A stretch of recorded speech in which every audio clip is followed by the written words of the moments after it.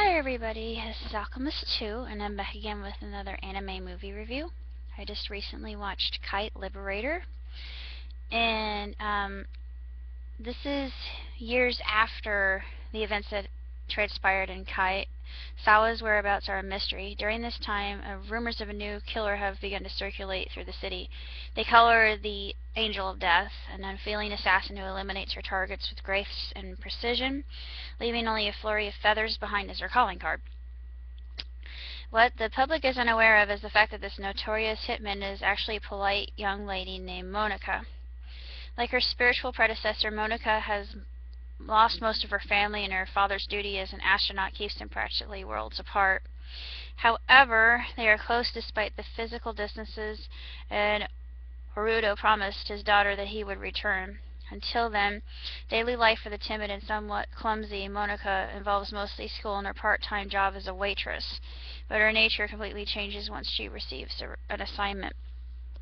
Uh, I I like the original much better than this one, honestly. Um, had kind of the uh, it had more of a sci-fi element in this, which I I do love sci-fi. Don't get me wrong, but it kind of left it up in the air, which you know I didn't really care that much for, and um, it led you to believe that at the end it was kind of tragic in a way what happens to her father I'm not going to say what that is because it's uh, one of those things that you kind of scratch your head and you wonder if it's scientifically possible. I don't know if it is or not, but um, as far as anime films are concerned, I prefer the first Kite over this one, even though I I think it's a worthy successor. However, the ending left much to be desired, and um, it just really didn't satisfy me or thrill me like the first one did. The first the first kite was I think the ultimate masterpiece. It's it's super gory and the plot line is really incredible and it's very engaging. And this one is too. It is uh, talks about the duality of uh, Monica's character and I like that and how unlikely of uh, cold-hearted assassin she is and I've always liked the stories of assassins. Oh shoot. Hold that thought.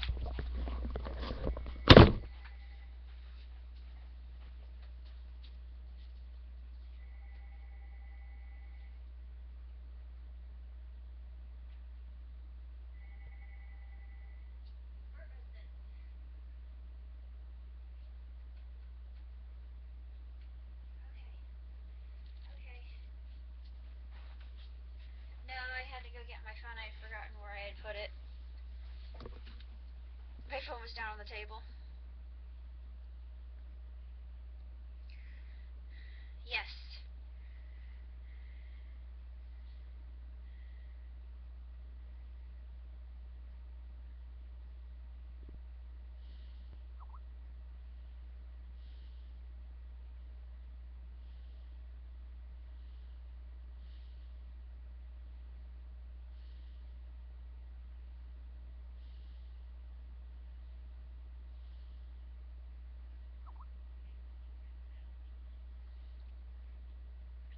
What time?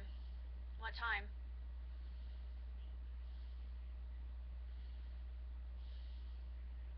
Yeah, it's snowing quite a bit actually. Yeah. Okay. Bye.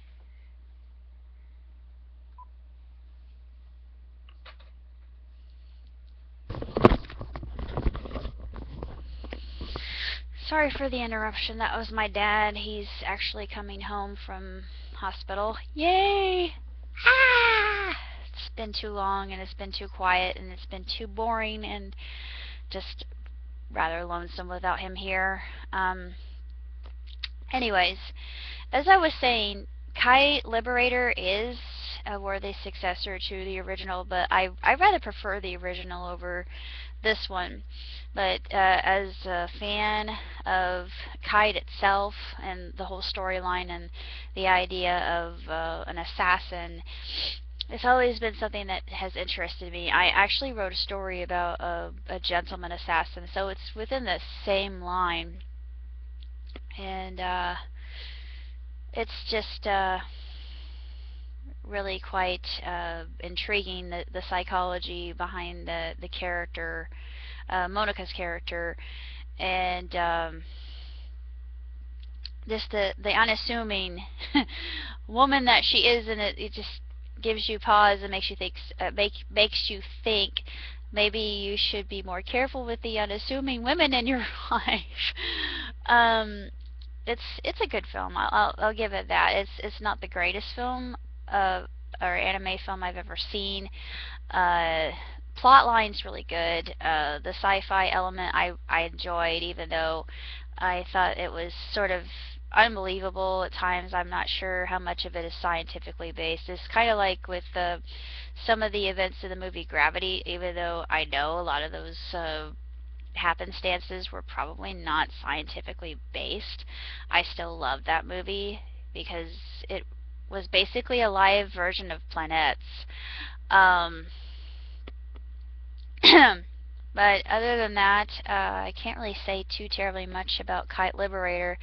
Eh, I'll give it a thumb up. I, I think it deserves a thumbs up. Actually, it's it's um pretty solid as an action adventure sci-fi, and more. It has kind of a horror element that uh, is akin to Alien. I think, even though I've never seen the Alien movies, I know what they're about, and I'm too much of a chicken to watch them, but I I know the basis of the plot and that it's uh, classic horror, fair, sci-fi esque.